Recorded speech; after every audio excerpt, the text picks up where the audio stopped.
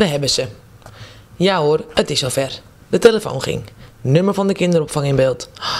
Ze zal toch niet van het klimrek gevallen zijn, dacht ik nog. Maar nee, de waterpokken hebben zijn intrede gemaakt in ons gezin. Je kan er maar beter vanaf zijn, sprak een vriendin van me gemoedelijk. Ja, natuurlijk, maar leuk is anders. De stroomversnelling snelt voort. Op het moment ben ik vrij van school. Vrij om te leren voor een tentamen volgende week. In mijn opzicht is vrij iets anders. De extra dagen dat ik vrij ben, probeer ik te gaan werken in het restaurant waar ik werk. Dus vrij, nee, niet echt. Maar goed, aangezien de waterpokken gearriveerd zijn, moeten we gaan schipperen.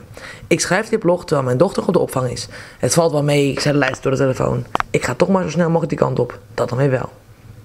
Het schijnt dat wij vrouwen nogal verzorgend zijn ingesteld. Kijk al even naar de zorg en je ziet de meeste crocs voorbij komen met een paar damesbenen erin. Ik zelf ben een parttime zorgelijk ingesteld iemand.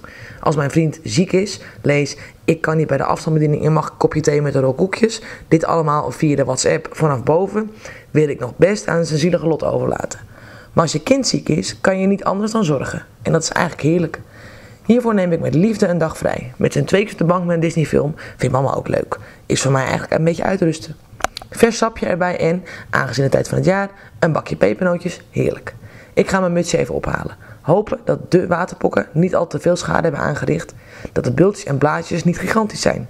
En bovenal alleen maar hopen dat ze niet zo ziek wordt en last krijgt van al die bijkomende kwaaltjes. Wie heeft de tips wat nu te doen met waterpokken? Iemand? Het is mijn eerste en hoop ik laatste keer.